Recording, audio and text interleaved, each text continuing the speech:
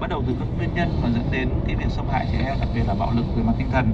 Thì hiện nay nó có mấy nguyên nhân. Thứ nhất là uh, sự xuống cấp về đạo đức đạo đức truyền thống ở trong gia đình và đạo đức các chuẩn mực đạo đức ở ngoài xã hội. Do đó là phần lớn thì các bậc cha mẹ uh, không nêu gương cho con thì đã không nêu gương cha mẹ mà có những hành vi mà nó mang tính chất bạo lực thì con em nó cũng nhìn theo nó nó làm thôi. Vấn đề thứ hai nữa là đúng là cái uh, thời gian trách nhiệm của cha mẹ đối với con cái cha mẹ bây giờ thì bị áp lực về kiếm sống do đó là ờ, rất nhiều các bậc cha mẹ thì đặc biệt là vùng nông thôn ấy, thì để con lại cho ông bà. Thế rồi là đi ra ngoài thành phố kiếm sống và thời gian rất là dài không có liên hệ gì với con cả. Và cha mẹ chính là cái hàng rào bảo vệ con cái tốt nhất. Nếu mà không ở cùng với cha mẹ thì cái nguy cơ trẻ bị bạo lực và xâm hại tăng lên rất là nhiều.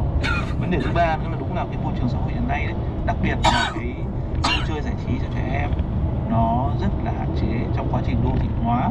Cho nên là à, trong quy hoạch thì ít quan tâm đến những nơi vui chơi giải trí không gian công cộng cây xanh hồ nước cho cộng đồng dân cư cũng như cho trẻ em.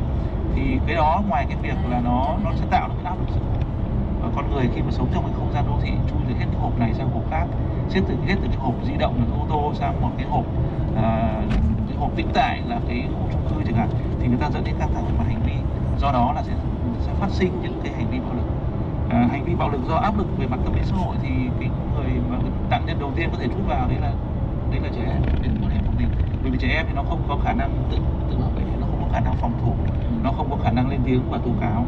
Do đó là những cái phân tích ờ, của thính giả chúng tôi cho rằng đấy là những cái giải pháp mà cũng đã được các đại biểu quốc hội nhắc đến cũng đã được à, thủ tướng phó thủ tướng chính phủ vũ đức đam nhiều lần nhắc đến trong các cái cuộc họp ban quốc gia về trẻ em.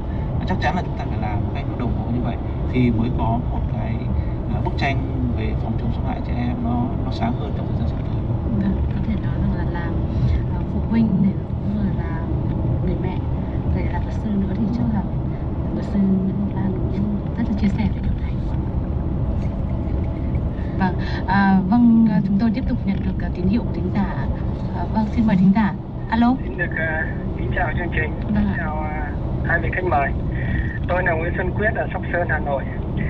Thì à, tôi thấy thế này, uh, khi à, tại cái báo cáo giám sát tối cao của Quốc hội thì chúng ta vừa qua đấy đã cho thấy là hơn 8.000 cái vụ việc xâm hại trẻ em. Thì trong đó là nó rất đa dạng, rất nhiều kiểu xâm hại trẻ em. Đó, thế và tại cái phiên họp tại quốc hội đã dành ra một ngày để chúng ta bàn và thảo luận về cái ờ, báo cáo đó.